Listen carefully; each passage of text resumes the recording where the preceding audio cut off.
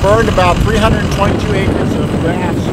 Um, it started over the Dunnigan Hills and been wind, wind driven to the uh, to the northwest here. Right now we're up to about maybe 30 engines, 30 grass, brush, um, 22 local engines, about nine cal or seven or eight, nine Cal Fire engines, and uh, two helicopters, two air, two four air tankers, and an air attack.